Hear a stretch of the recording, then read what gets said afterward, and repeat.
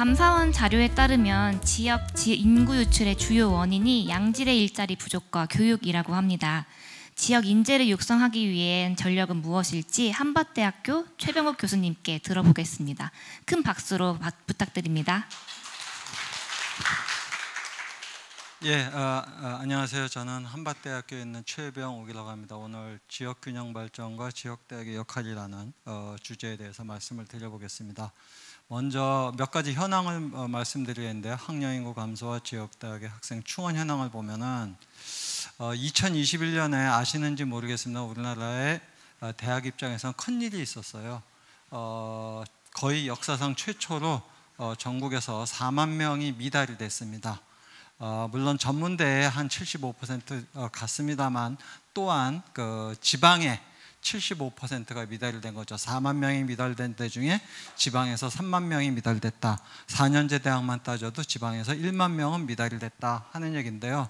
4만 명이면은 2천 명짜리 대학교 20개고요. 1000명짜리 대학 어, 중소규모 대학으로 따지면은 40개 대학입니다. 어, 엄청난 큰 일이었고요. 저는 이 당시에 제가 지역 중심 국공립대학 총장협의 회장을 해서 어, 이 시, 실감도가 크고 어, 이후로 이 문제에 좀 지속적으로 관심을 어, 갖고 있습니다. 어, 21년에 그런 일이 벌어진 거는 어, 처음으로 고3 학생이 그때 50만 명 이하로 내려갔습니다. 전년도보다 6만 명이 줄어들었던 거죠. 예. 올해도 상당히 적었었는데요. 어, 표에서 보시겠지만 40만 명대의 수는 어느 정도 좀 유지가 되다가 2017년생이 대학교에 들어가는 2036년이 되면은 드디어 35만 대로 떨어지고요. 이거는 급감해서 20만 명대로 내려가게 되겠습니다.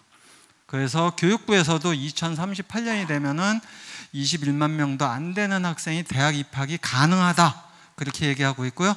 수도권의 일반대와 전문대의 어, 현재 기준 어, 입학 정원은 21만 명입니다. 어, 한마디로 뭐 전문대를 포함한다면 모두 다 인서울이 가능한 어, 세상이 곧 옵니다. 예. 그래서 고등교육, 고등교육 인적 자원의 감소가 어, 아주 급격히 줄어 심해질 거고요. 지방에서의 문제는 더욱더 심각할 것입니다. 아울러서 우리나라 대학이 인재의 주요 공급처인데 경쟁력이 어떠하냐 그러면 국가 경쟁력이 23위인 것에 비하면 대학 교육 경쟁력은 47위. 뭐 QS 랭킹에서도 겨우 9개 정도가 300위 안에 들어간다. 뭐 이런 얘기인데요. 24년도 QS 랭킹을 제가 일부 어, 표로 이렇게 정리를 해봤습니다만은 여기 파란색 또는 빨간색이 지방에 위치한 어, 대학들입니다. 그러나 300위권에 들어가 있는 카이스트, 포스텍, 유니스트, 뭐 디지스트 이런 거를 과연 지방대학이라고 할지는 모르겠습니다만 어쨌든 지방의 혁신에 기여를 하는 부분은 맞죠. 그러나 그 이외를 제외한다면은 어, 국립대 또는 의대를 가지고 있는 일부 사립대학들이 명맥을 유지합니다만은 수도권의 대학에 비해서 경쟁력이 처지는 것이 사실이다라고 얘기를 드릴 수가 있고요. 어, 그렇게 되는 원인 중에 하나일 수도 있다고 저는 생각하는데 우리나라 학생 1인당 공교육, 공교육비가 대학에서 12,000불 수준입니다. 고등학교가 17,000불인데요. 어, OECD 평균이 고등학교, 아, 대학, 고등교육, 대학교가 18,000불 수준입니다. OECD 평균의 67.5%죠. 초중고등학교는 100%가 넘는 수준인데, 어, 대학은 거꾸로 된 거예요. 즉, 우리나라는 대학에 아무도 관심을 안 두고 있고요.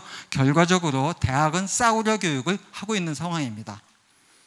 어, 학생 1인당 교육비를 대학별로 좀 구분해 봤는데요. 어, 서울대를 포함한 과학기술 특성화 대학들이 평균 7천만 원, 최고 어, 포스텍 같은 경우 어, 1억 2천만 원이 넘죠. 어, 그리고 서울에 좀 잘 나간다는 사립대학들이 한 3천만 원 전후반 어, 이런 어, 수준이고요.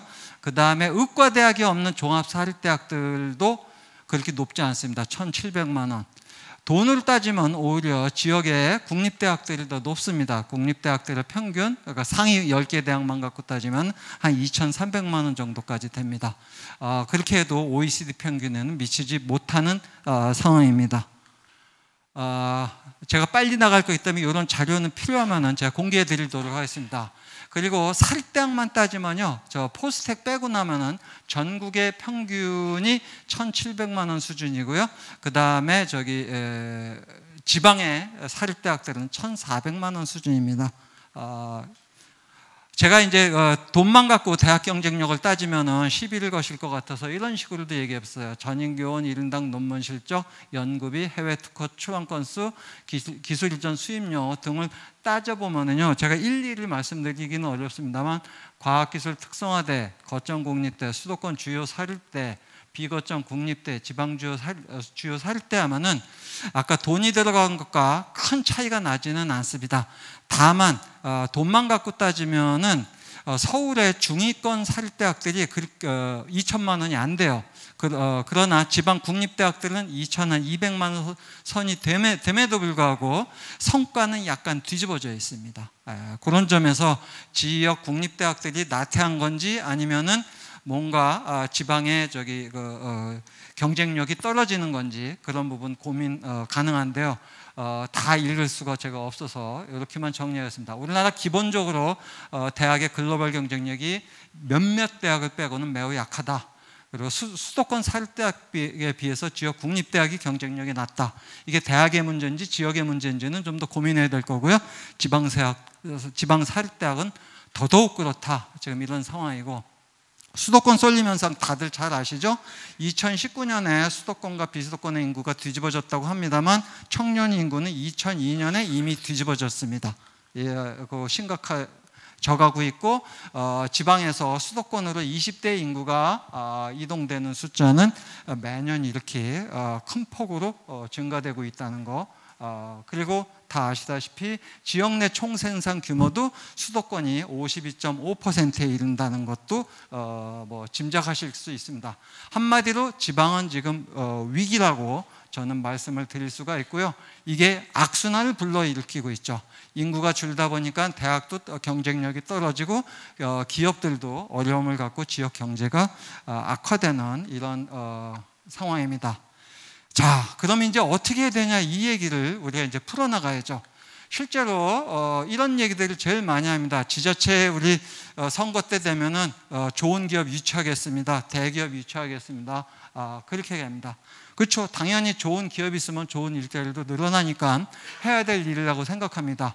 아, 그래서 우리 에, 어, 지자체에서 뭐 어떻게 유치할 거냐 뭐 우수 인재도 제공하고 정조환경, 기업 부지 제공, 세제 혜택 등등등을 다 해보겠다고 그러는데요.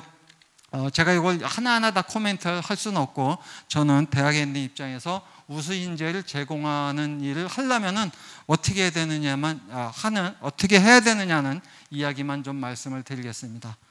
저는 결국은 어, 지방에 있는 대학도 결론만 얘기를 드리면 서울대 뺨치게 만들어야지만이 지역이 살아남을 수 있다고 생각을 합니다. 어, 우리나라의 서울대를 포함해서 거점 국립대학교라는 소위 말해서 지역 거점 대학이 10개가 되는데요. 어, 거기에 어, 학부생 수로만 갖고 따지면은 한 22만 명 되는데 요거는 미국의 캘리포니아에 있는 메이저 그 주립대학 UC 대학들 10개하고 어, 비교해보면 학생 수가 비슷합니다. 그러나 이 UC 대학의 1년 예산은 54조 우리나라 국가, 서울대 포함한 국가거점 국립대학의 어, 1년 예산이 5조, 교수 수는 어, UC가 두 배, 뭐 이런 상황입니다. 어, 그래서 우리는 여기서도 한편으로 싸구려 대, 어, 어, 교육이 이루어지고 있다는 걸 알고요. 이게 뒤집어져야만이 저는 지역에 우수한 인재를 공급할 수 있고 서울에서도 대전으로 부산으로 제주로 공부하러 가고 싶게 만들어야 된다고 저는 생각하는 사람입니다.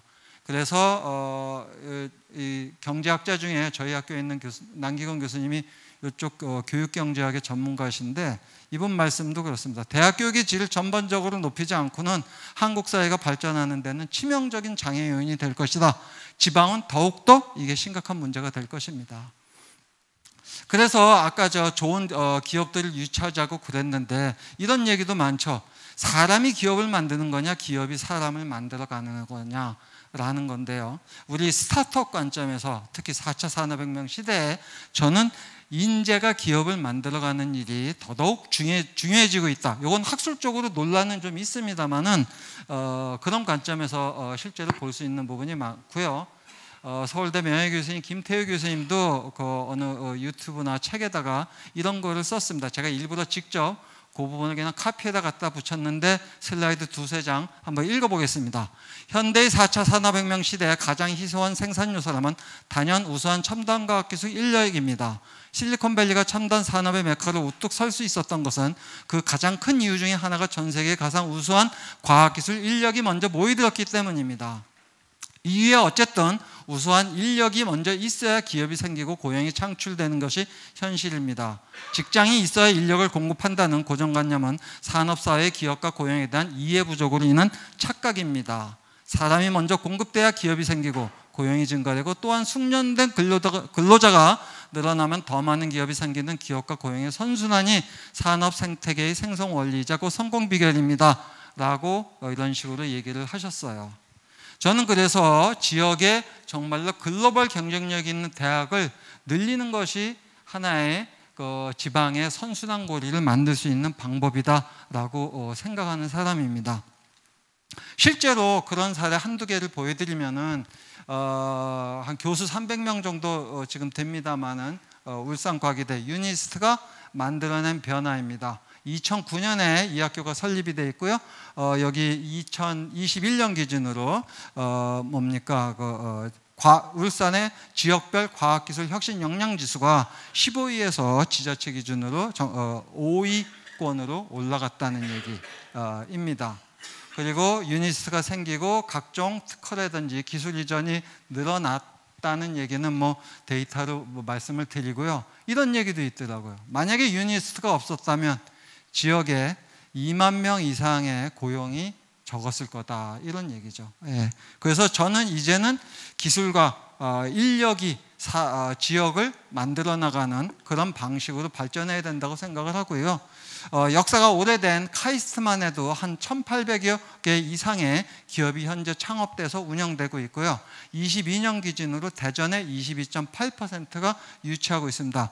21년 기준으로는 27%였는데 절대 어, 기업 수는 늘어났습니다만 수도권으로 간 기업이 좀 많이 있는 것 같아요. 그럼에도 불구하고 대전이 카이스트의 어, 도움을 아, 아, 받았다는 얘기는 어, 틀린 것이 아니라고 저는 생각을 하고 있고요. 뭐 카이스트의 창업 성과 요 자료는 참고로 보시고 넘어갔습니다. 예, 유니스트보다 훨씬 더좀 축적된 데이터들인데요. 다른 대학들의 이런 자료는 제가 갖고 있지를 못해 갖고 어, 대학 알림익에 있는 대학 기술 이전 현황이나 어, 특허 이런 자료들을 조금 어, 살펴봤는데요. 전체적으로 어, 보시면은 서울에 있는 수도권에 있는 어, 최상위권 대학들이 잘 하고 있고요. 어, 과학기술 특성화대학 빨간색으로 표시했습니다. 어, 나름 잘 하고 있고요. 지방의 국립대학들 어, 어느 정도 어, 하고는 있습니다만은 좀 모자른 느낌이 많이 들어요. 어, 왜냐하면은 카이스트나 이런 데보다 어, 어, 바로 이웃한 카이스트하고 충남대만 비교해도 충남대가 맨파워 수는 훨씬 크거든요. 그래서 우리가 여기에 역량을 키워주는 역할을 할 때 저는 지역이 살지 않을까 그런 어, 얘기를 하고 있고요. 일부 가능성 있는 것들도 보인다는 것을 어, 말씀을 저는 어, 드리고 싶습니다. 그래서 어, 이제 뭐 대학이 저는 지역 혁신을 선도해 나가는 방법을 만들어냅니다. 정부도 알고는 있어요. 그래서 지난 정부에서는 RISE 사업을 해보겠다. 어, 이번에는 어, 아, 이번 정부가 RISE 사업이죠. 죄송합니다. 지난 정부에서는 RIS 사업이라고 지자체 대학 협력 기반 지역 혁신 플랫폼 뭐 이렇게 하는데요. 좀 그림은 거창한데 아직 내용은 우리가 어, 고민하는 그런 쪽에 도달할 정도는 저는 좀 어, 많이 못 미치는 것 같고요. 어, 그래서 정부 주도만이 아니고 민간 주도의 그런 노력들이 더욱 더 필요해진다라는 게제 어, 기본적인 어, 생각입니다. 어, 대전은 뭐 아까 그 우리 그 도령벤처 포럼 대표님 어, 뭐 카이스트가 뭘 했냐, 연구단지가 뭘 했냐 그러지만 저는 대전에 그래도 뭐 했다고 생각하는 사람이거든요. 아쉬움은 물론 물론 뭐 큽니다만은 어, 연구단지도 큰 역할을 했죠. 그래서 어, 인재와 기술 이런 거를 집적시키는 데는 반드시 수도권에서만 이게 가능하다고 생각하지는 어, 않는 사람입니다. 그래서 그런 그림을 만들어 나가는 노력이 조금 더 필요하고 제가 이런 행사에서 또 하나 배우는 거는 거기에 locality를 하나 더하면은 정말 멋진 것이 되리라고 저는 생각합니다. 이게 거의 마지막 슬라이드인데요. 저는 이제 이, 어, 우리나라에서도 산학협력 개념이 지산학이라는 어, 말로 어, 조금 커지고 있는데요. 이걸 조금 더 풀어보면은 민산학 연관 뭐 이게 다 들어가야 된다고 생각해요. 저는 여기 일부 그 화살표를 통해서 글씨를 써놓은 거는 대학 기준으로만 써놓은 거죠. 너무 지저분해질까봐 안 썼지만 연구소, 기업, 지자체, 시민 모든 어, 면에서 다른 곳들과 소통하고 연결되는 이런 것이 바로 진정한 스타트업의 생태계고 지역혁신의 생태계가 되지 않을까 그렇게 생각하는 사람입니다. 그래서 이런 거 여러분하고 같이 한번 좀 만들어 봤으면 좋겠다라는 말씀으로 마무리하겠습니다. 감사합니다. 네, 최병욱 교수님 감사합니다.